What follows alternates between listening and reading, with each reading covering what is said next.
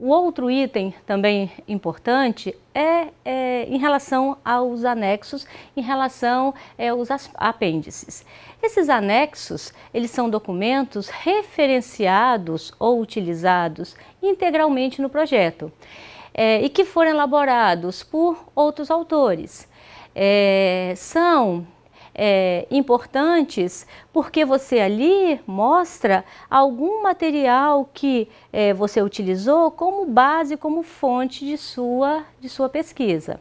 Já os apêndices são os documentos criados pelo autor para a realização da pesquisa. Por exemplo, algum questionário que ele utilizou, é, alguma entrevista, perguntas para entrevista e outros dados.